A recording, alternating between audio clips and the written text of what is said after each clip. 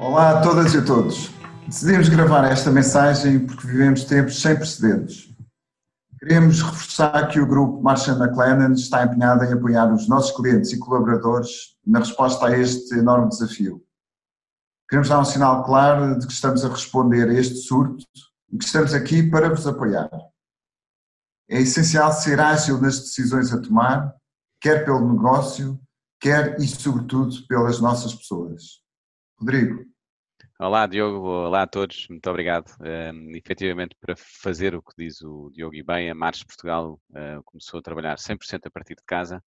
A Mercer também, exceto uma pequena equipa operacional que se mantém no escritório, mas ambos estamos a prestar o serviço habitual aos nossos clientes sem qualquer interrupção e assim vai continuar. Eh, desde já um enorme obrigado aos nossos eh, colaboradores, têm sido inexcedíveis e naturalmente fornecedores, parceiros, todos eles têm tido um complemento exemplar para poder manter a continuidade do negócio. Um grande, grande obrigado desde já.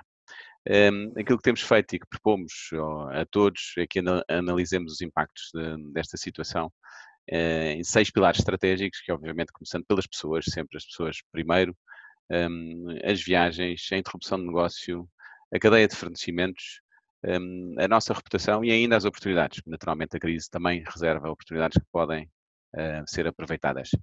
Um, pela responsabilidade que temos todos uh, no grupo Marcha e McLaren em geral um, e também na Mercer e, Marcha em concreto, vamos continuar a acompanhar esta situação da Covid-19 e garantir que vamos apoiar os nossos clientes sempre pensando nas pessoas e no risco. Para tal, vamos começar a produzir uma série de conteúdos via webcasts, via artigos de opinião que iremos partilhar convosco, que esperemos que sejam úteis para ajudar neste caminho de atuação eh, e de emergência, sendo que nós, como líderes, devemos atuar uh, o mais rapidamente possível. Diogo. Obrigado, Rodrigo.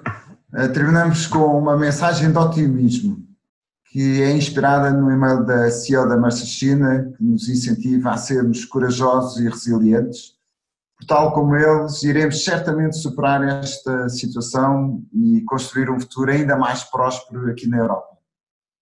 A pandemia, no fundo, tem servido para reforçar o espírito de união e entreajuda na China. E estou certo que será também assim em, em Portugal. Esta é a hora de agir. Um grande abraço e até breve. Um abraço e boa sorte.